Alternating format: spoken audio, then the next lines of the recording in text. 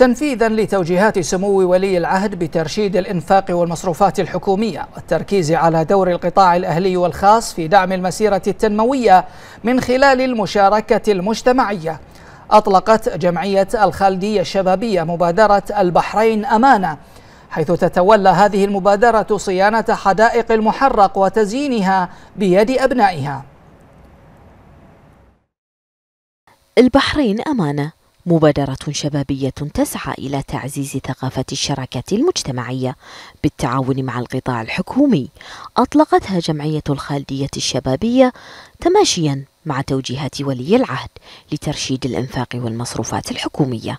فكانت صيانة حدائق المحرق الخطوة الأولى للعمل بتلك التوجيهات. طبعا الفكرة من المبادرة نفسها إن إحنا شلون نقدر نعيد صياغة أو صيانة هذه الحدائق بأقل تكلفة بالتعاون مع وزارة البلديات وبلديه المحرق. الفعاليه الطيبة اللي تشارك الأطفال والشباب وتاخذ الفراغ اللي عندهم وتطلعه في هذه المناطق مثل الحدائق اللي عندنا الحدائق العامة الحمد لله اليوم شفنا الرسومات اللي توحي بالتراث والموروث البحريني الشعبي اللي فعلا يعني نشكر جمعية الخالدية الشبابية. اليوم يمكن الواحد يشوف الحديقة هذه عليها رسومات لكن بتكلم على رسم أهم من كل هذه الرسومات اللي موجودة هي رسم مفهوم التطوع. مفهوم آه، حب الآخر مفهوم إن أنت شلون تهتم بممتلكات ما تكون ممتلكاتك الخاصة. يمكن كثير من الناس يهتم بممتلكاته الخاصة. اليوم إن أنت شلون تقدر تراعي ممتلكات العامة آه، اللي خلت لنا إياها الديرة واللي نفس ما خلتها لنا عشان نستانس فيها هي تكون أمانة أمانة في رقبتنا. هذه المبادرة تسعى إلى إضفاء لمسة جمالية وحضارية على حدائق المحرق.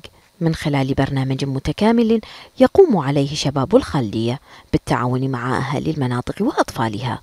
يشتمل على الترميم والتدوير والتجميل والرسم على الجدران بالإضافة إلى التشجير.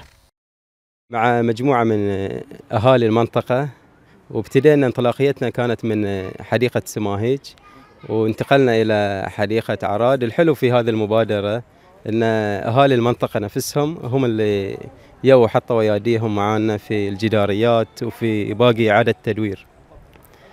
وإن شاء الله يكون في حدائق باقي في منطقة المحرق وفي البحرين بشكل عام.